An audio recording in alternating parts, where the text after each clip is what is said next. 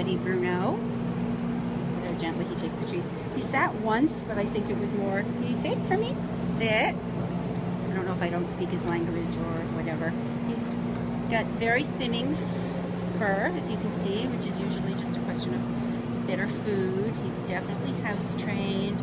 He's up in my lap giving me some kisses.